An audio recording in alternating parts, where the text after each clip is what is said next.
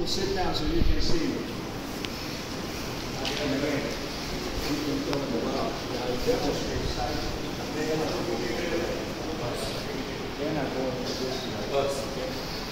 Next one is called duck walk, okay? The important thing is the knee should not be out. When you squat, this is not good. Bring your knee forward, us, and forward, and the hands here.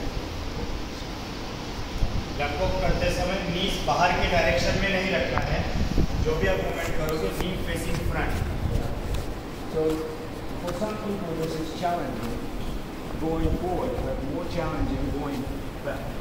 Reverse इस ज़्यादा challenging होता है हमारे लिए This is a balance practice. यस balance practice के लिए हम ये डक वॉक एक्सरसाइज कर रहे हैं जिसमें फोकस करते हैं कि नी बाहर ना आए। ने साइडवेज डेमोस्ट्रेट किया है हम लोग ऐसे फ्रंट विजन से टेक्निक करेंगे Okay, so one more. You know, today is just a duck walk, right? Because we have so many people. And if you like it, you should do duck run. No. आज ज़्यादा ऐसे Sheehan से duck walk ही ले रहे हैं okay but duck run भी होता है वो शिहान डेमोस्ट्रेट करेंगे अगर आपको जैसे लग रहा है कि प्रैक्टिस में ऐड करना है you can do that. But not here, but there. Not here, yeah.